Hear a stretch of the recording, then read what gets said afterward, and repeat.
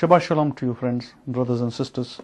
Today I'm here to present to you the Black Yahushua, the Black Messiah, or Yahushua, the Black Messiah.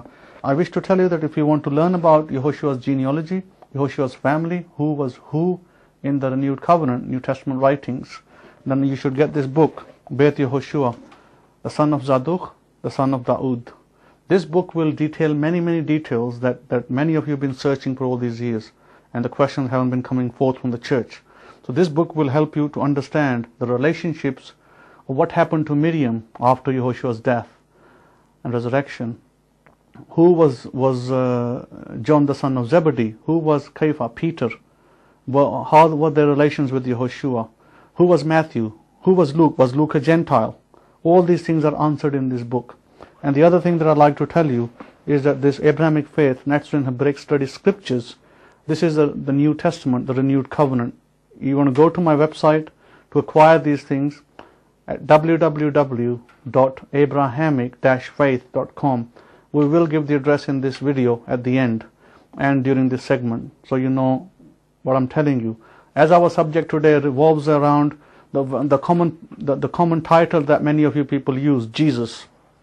And myself, as you know, I don't use that title so much. I use the term Yahushua, and some of you may use Yeshua or Yeshua, and these are the the variant names used for the Messiah. Messiah's real name was Yahushua. That is another discussion that I don't really want to get into. However, what I want to get into is what color was the Messiah. I think that's fairly important. Why is it so important that I tell you the color of the Messiah? Well, I've got a book coming out called the called Yahushua the Black Messiah. You can get that book from www.abrahamic-faith.com. Why it's so important is if it wasn't important, why would the Almighty Creator bring him into a certain family with a certain lineage? Why, if it's not important? So this is the answer to that question. It's very important.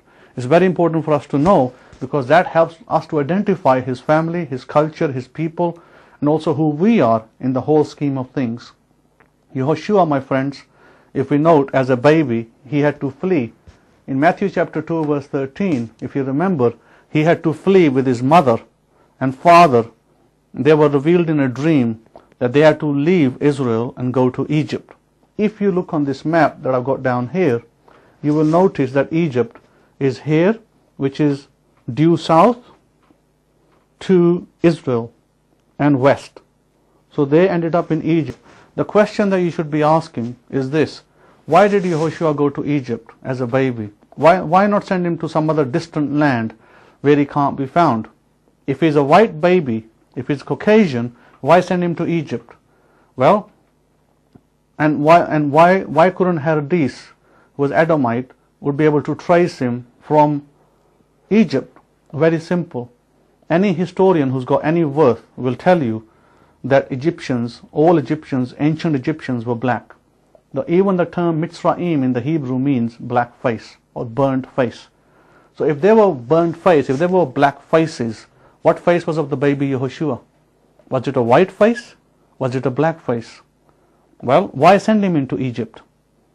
The answer is self-explanatory if you think about it.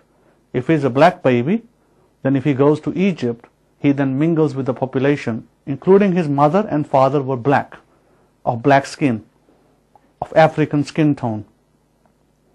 We know this from the from the scriptures, the identification the scripture gives us. I talk about these things in my book, The Black the Black Messiah, Yahushua the Black Messiah. And I also show you in, intimate details about other other things about Hebrew Israelites, things that they had that tells us their culture and their families. We know from one of the descriptions in Revelation chapter 1 verse 14 was that he had he had uh, woolly hair. Now do white people have woolly hair?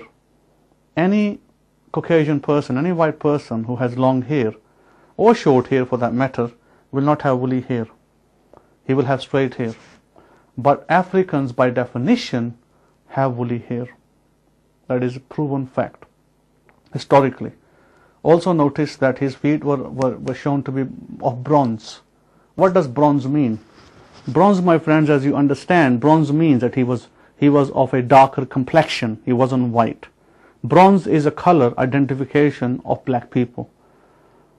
Also, we are, we are told that Yahushua had certain, certain other traits. So even if we use these similar traits, we can very easily identify Yahushua. As I told you, that it was very easy for him to go to Egypt and mingle with the locals. And he was a baby. His, his, his parents could easily mingle with the locals, being black themselves. They will not be identified easily. That is why they stayed there.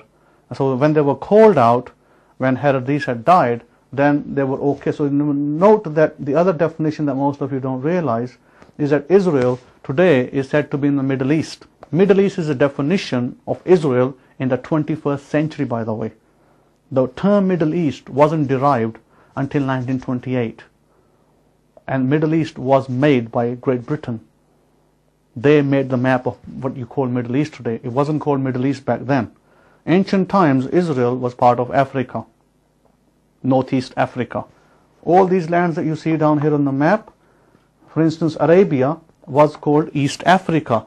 This is why the ancient Arabs in Arabia, the ancient Arabs were black. These were tribes that came from Sudan, they came from Western Africa. The Bejas, for instance, one of the tribes that in, in, inhabited Arabia, came from these regions in Western Africa. So therefore, my friends, these things are actually mentioned very, very clearly. These things are mentioned very, very clearly here. If you, if you notice, all these lands, are, they get a, a, a quite a detailed mention in the Hebrew scriptures. You often hear about Cush. Well, Cush is the area of not only Sudan, but Ethiopia. You know about the story of Queen of Sheba. The Bible talks about the Queen of Sheba. The Queen of Sheba ruled not only Ethiopia, also parts of Arabia, parts of Yemen she ruled. And Queen of Sheba had a son by King Solomon who was also black and that son then ruled in Ethiopia. And if you go back and check your histories, Menelik I was a son that ruled in Ethiopia and then we had Menelik II and we have Haile Selassie which was a title given to the emperor in the uh, in the early 19th century 1930 so these people if you look they claim ancestry to true Israel and indeed they are so my friends